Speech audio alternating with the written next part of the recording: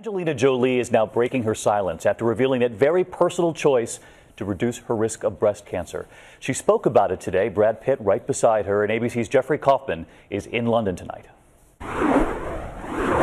For the world's most famous celebrity couple, it was a return to the spotlight in style. Angelina Jolie making her first public appearance since revealing to the world she has had a double mastectomy. She's here in London with Brad Pitt to launch his new movie, World War Z. He's been extraordinary, just extraordinary. He's such a he's such a a, a wonderful man and a wonderful father, and uh, know, I'm very very lucky.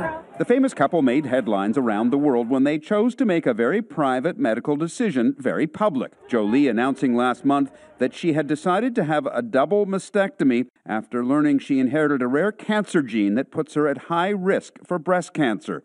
Both her mother and her aunt died of cancer. I'm very happy just to see the discussion about women's health expanded, and, and that means the world to me. And, and after losing my mom to these issues, I'm, I'm very grateful for it, and, I'm, and I've been very moved by, by the, the kind of support from people. Really very grateful for it. She realizes that, that this is not available for everyone, and that it should be. The, the testing and then the, and the surgery. The couple said that as difficult as the experience has been, it has brought them even closer together. Jeffrey Kofman, ABC News, London.